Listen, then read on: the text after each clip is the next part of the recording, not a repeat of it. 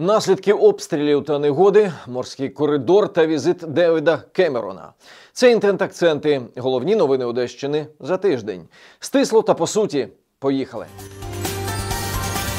Починаємо традиційно з обстрілів Одещини. Так, ввечері 10 листопада Збройні сили РФ завдали ракетних ударів по об'єктах цивільної та припортової інфраструктури регіону.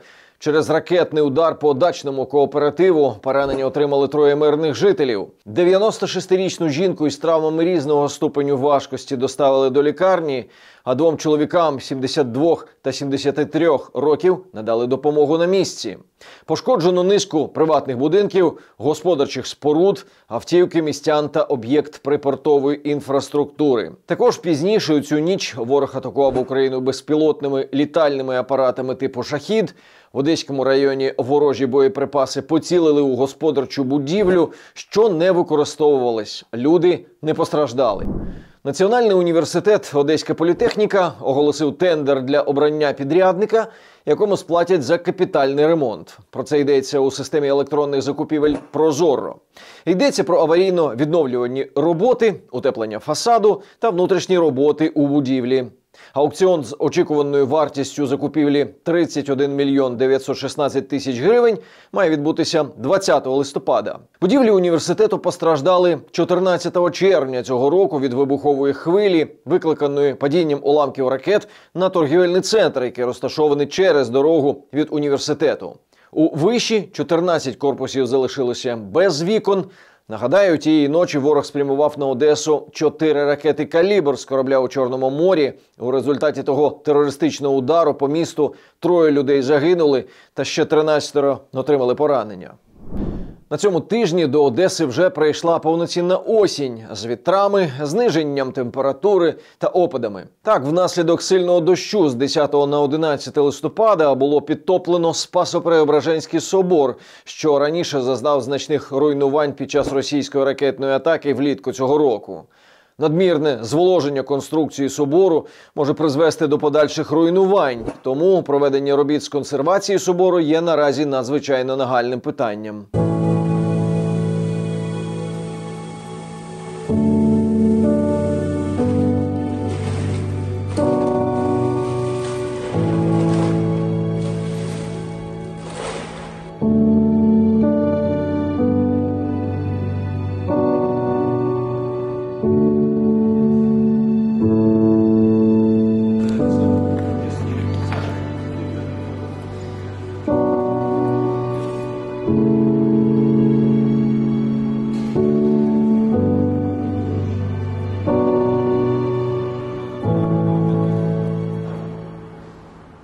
Окрім цього, сильний вітер, що вирував в Одеському районі зранку 12 листопада, повалив у самому місті 71 дерево та тимчасово порушив постачання світла для майже 25 тисяч родин у 76 населених пунктах області. Про це повідомили у прес-службі ДТЕК Одеські електромережі. Під час ліквідації наслідків негоди на Одещині було задіяно 43 аварійно-відновлювальні бригади, а це 99 фахівців та 43 одиниці техніки. Енергетики відремонтували 22 повітряних лінії, що живлять 554 трансформаторних підстанцій.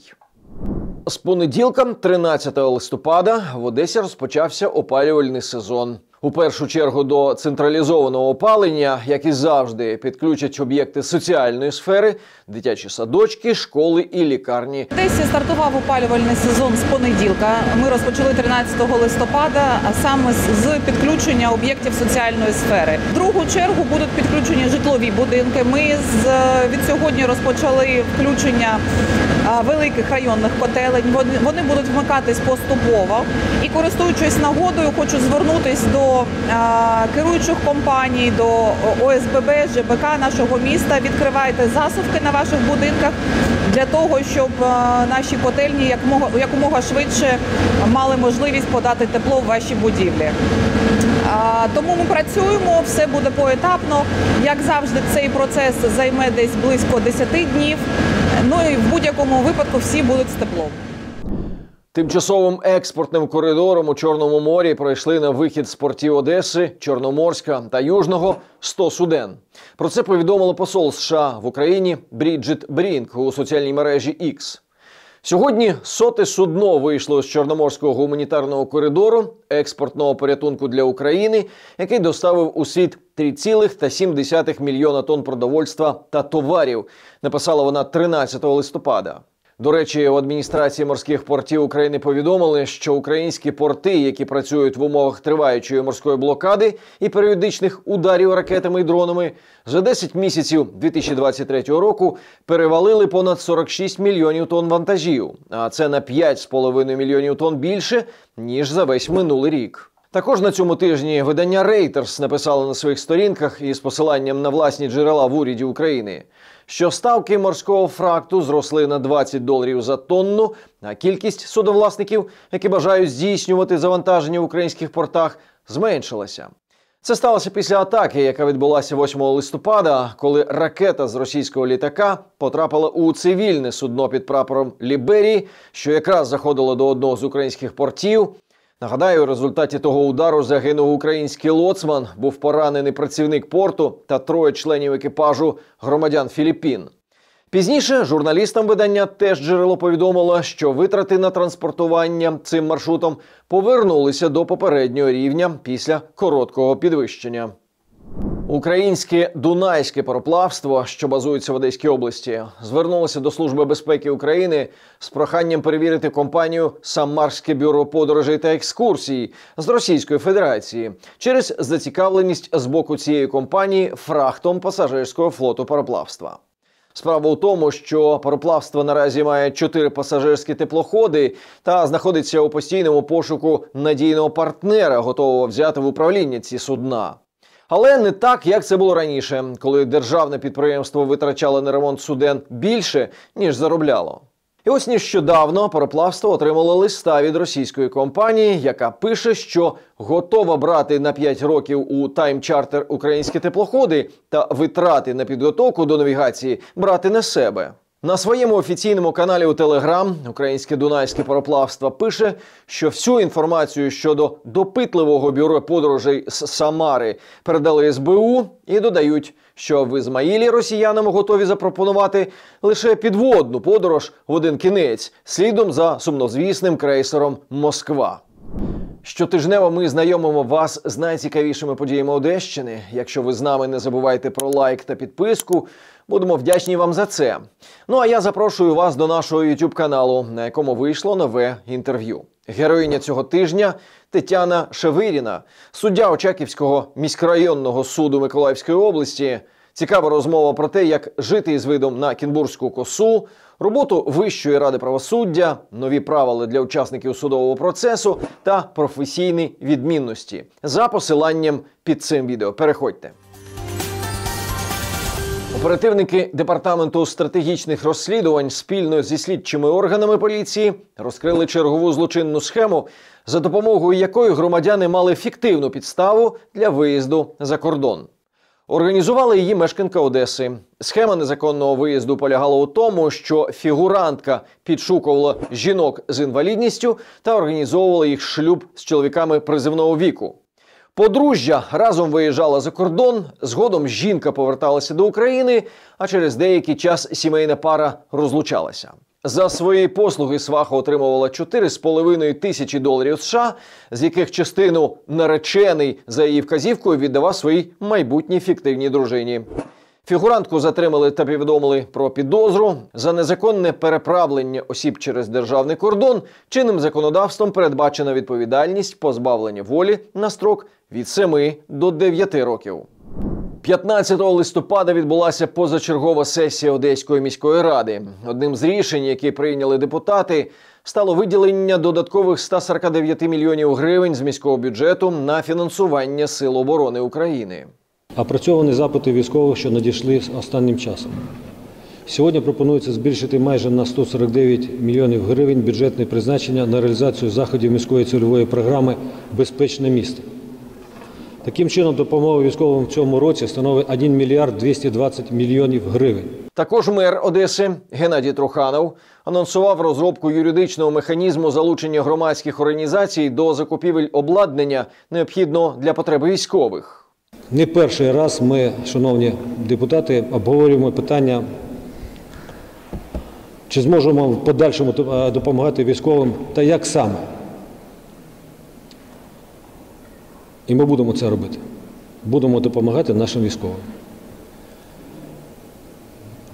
Тому в мене є пропозиція. З першого дня війни волонтери е, допомагають нам забезпечувати Збройні Сили України. І сьогодні ми розробляємо юридичний механізм, який дозволить залучати громадські організації до закупівлі допомоги військовим за бюджетні кошти. Ви пам'ятаєте нашу програму у мирний час, яка називалась е, громадський бюджет. От десь сьогодні все це не йде мова про громадський бюджет, але от щось таке схоже на громадський бюджет. Але ми пропонуємо, я пропоную, е, щоб ми розробили такий механізм і далі, щоб коли буде він відпрацьований, вам дали на е, щоб ви вивчили його, е, порадили. І щоб ми прийняли, якщо ми дійдемо до того, що це задоцільно, будемо приймати. Поки невідомо, як це рішення буде реалізоване, та чи вплине це на громадську думку щодо виділення мерією бюджетних грошей на різні напрямки, у тому числі і непріоритетні, як вважають одесити, які вже понад три місяці кожної суботи збираються на акції протесту біля мерії. Нагадаю, ініціаторкою цих акцій стала активістка та волонтерка Катерина Ножевнікова, яка наприкінці серпня вийшла на одиночний пікет перед мерією. Наступного тижня до неї приєдналося декілька сотень одеситів. Небайдужі одесити продовжують проводити ці акції кожного тижня, вимагаючи від чиновників не витрачати гроші на непріоритетні напрямки, такі як ремонт суду чи лавок у парку. Міністр захисту довкілля та природних ресурсів Руслан Стрілець відвідав Одесу для підписання меморандумів про будівництво сміттєпереробних заводів на території Одеської області. Про це повідомили у прес-службі Одеської обласної державної військової адміністрації.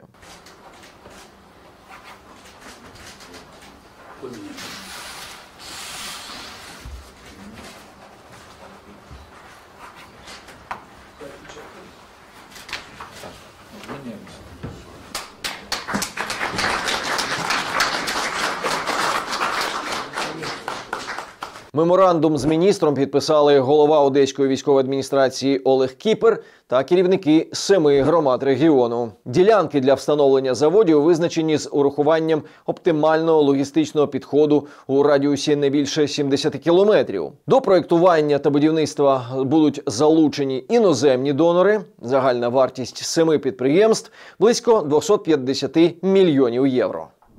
Також під час свого візиту в Одесу міністр захисту довкілля та природних ресурсів Руслан Стрілець виступив на брифінгу в Одеській обласній військовій адміністрації. Він зокрема заявив, що причиною забрудненості повітря в Одеській області можуть бути прильоти російських ракет і загоряння нафтопродуктів унаслідок влучань. За словами міністра, за більш ніж півтора року повномасштабної війни українські та міжнародні служби зафіксували понад 2700 екологічних злочинів. А загальна сума збитків екології країни сягнула суми у 2,2 трильйона гривень, з яких практично половина це забруднення атмосфери. У четвер, 16 листопада, до Одеси прибув нещодавно призначений на посаду міністра закордонних справ Великої Британії, екс-прем'єр-міністр Сполученого Королівства Девід Кемерон. Разом зі своїм колегою Дмитром Кулебою вони відвідали морський порт. Кулеба і Кемерон обговорили питання експорту зерна. Також британський гість наголосив, що його країна продовжить підтримувати Україну на шляху перемоги над Росією. Hi everyone from Odessa. I'm here with uh, David Cameron. I really appreciate he, he he paid his first visit here, and wait for more. More is to come in the UK-Ukrainian relation towards our victory. I'm very proud to be here in Odessa on the Black Sea. It's so important what the Ukrainian Navy has accomplished, pushing back the Russians, opening this new sea lane. I'm proud that Britain is playing its part. We're going to continue to play our part. There's more to come. Stay strong. Також новий очільник МЗС Великої Британії ознайомився із Одесою. Зокрема, побачив наслідки російських обстрілів у зоні ЮНЕСКО.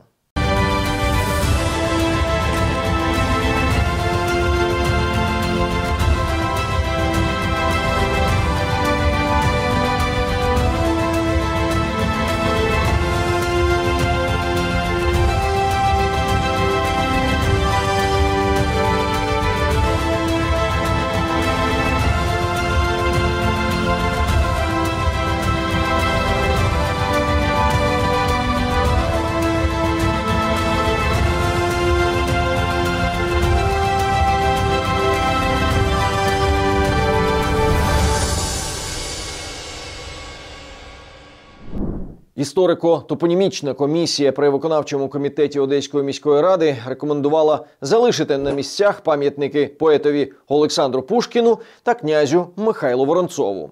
Щодо пам'ятника поетові, то його рекомендовано залишити на місці на Думській площі напроти будівлі мерії, через те, що він розташований на Приморському бульварі на території об'єкта всесвітньої спадщини ЮНЕСКО, тож є об'єктом всесвітньої спадщини і не підпадає під закон про засудження та заборону пропаганди російської імперської політики в Україні і деколонізацію топонімів. Пам'ятник Воронцову комісія рекомендувала залишити на соборній площі через виняткову мистецьку цінність. Утім, члени комісії вважають, що для державного реєстру слід трохи змінити назву пам'ятника, прибравши з неї слово князю та залишивши пам'ятник Воронцову. Також комісія рекомендує залишити на місці пам'ятник Патьомкінцям. Комісія зазначила, що монумент на сьогодні вдало розташований у сквері на митній площі та облагорожує не зовсім доглянутий куточок міста поблизу Деволанівського узвозу, який знаходиться у стані реконструкції.